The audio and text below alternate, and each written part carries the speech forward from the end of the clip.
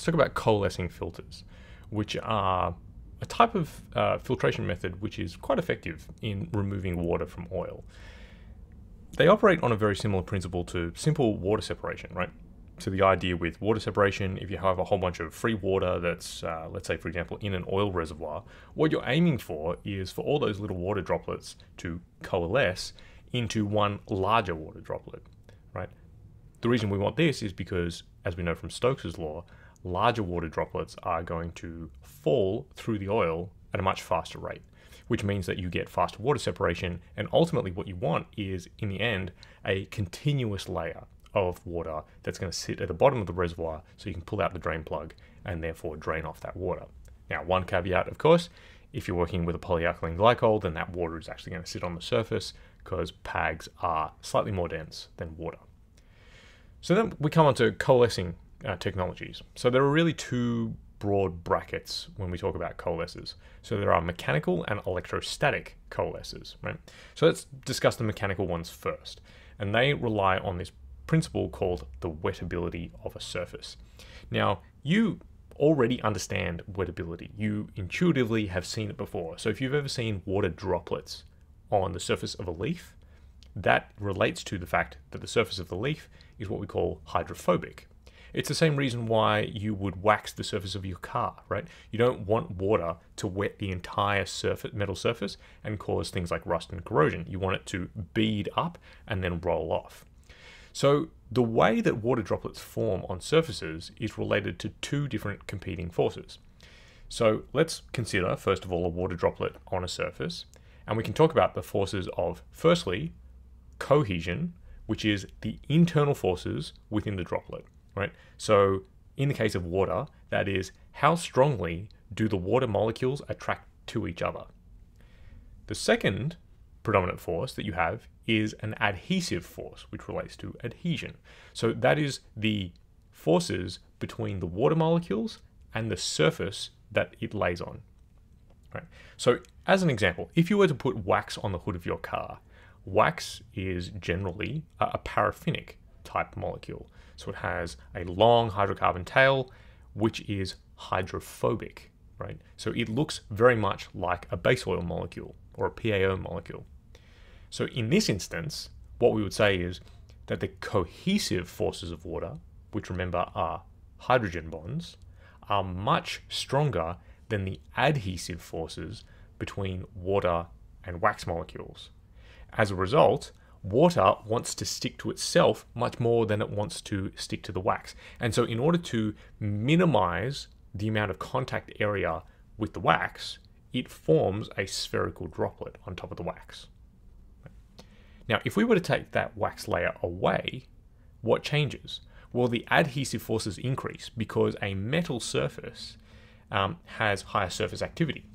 What that generally means is that charge sits on the surface of metals, Therefore, the polar molecules in water are attracted to them to a certain extent.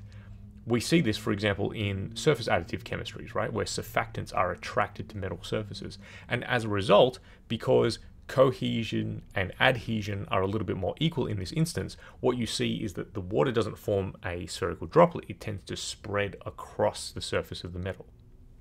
So that is the difference between something which can be water wet versus not water wet. Now let's put it into the context of how you would apply this principle to filtering out water. So let's say, for example, I have a wax type substance, right? And I'm going to pass oil through that substance, right? So remember, this, if it's like a wax, water doesn't want to touch it, but oil does. So as we pass the oil through it, these materials are going to be oil wet. So not water wet, they're going to be oil wet. So a certain amount of oil is going to cling to those surfaces, kind of like a film thickness, right, in, in, in bearings. Now, if we can make the capillaries between these materials small enough, then that surface film is going to form one sort of continuous layer that passes through, right? So the water wet, sorry, the oil wet areas are going to connect up.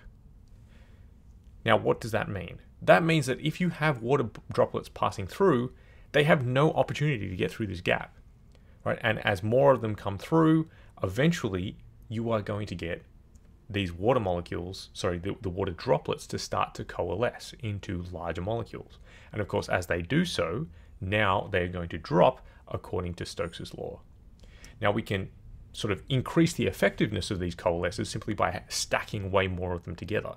So that is the principle on which they operate. So they have uh, a basically a mesh which uh, is oil wet and therefore, in some senses, repels water, which then wants to mechanically coalesce with itself. Okay, so that is mechanical coalescers. Now let's move on to electrostatic coalescers. Now these operate on a slightly different principle. So effectively what happens is I want to move these two water droplets closer to each other. So one of the ways that we can do that is by applying a, a, an electric field across these materials, right? So the oil isn't really going to be affected by the electric field because it's relatively nonpolar. However, the water is, right? So it is going to end up having a sort of a negative end and a positive end, and it's going to elongate those uh, spheres, those droplets. Now, all of a sudden, not only are they physically closer together, but now there are, uh, you know, electric attractive forces between these, and this is going to cause these two droplets to be far more likely to coalesce into one larger droplet, and therefore, again, fall according to Stokes's law. Okay, so that is uh, coalescer systems. Remember, there is mechanical, which operates on the process of wettability, and there are electrostatic ones, which use um, charge and electric field to bring these uh, water, water droplets closer together.